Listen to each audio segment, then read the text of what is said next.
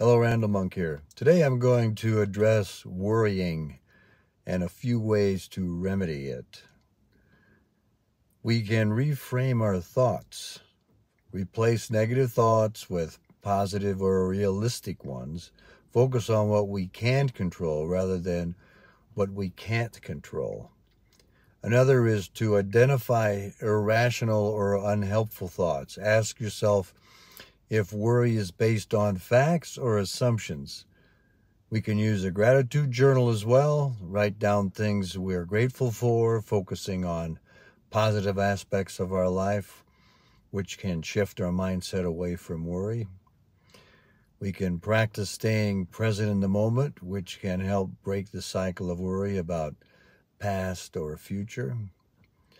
Regular physical activity can also reduce stress hormones and boosts mood enhancing chemicals. We can recognize that uncertainty is a part of life and not to have all the answers. We don't have all the answers. Another option is to imagine putting your worries in a balloon and watching it float away.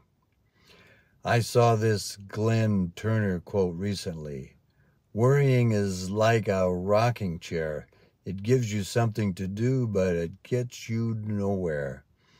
We all have a tendency to worry at times. And there are remedies for it. And hopefully, some of these that I shared will help you at some point if you're tending to worry. That's all for now. Much love and many blessings from my heart to yours. Bye for now.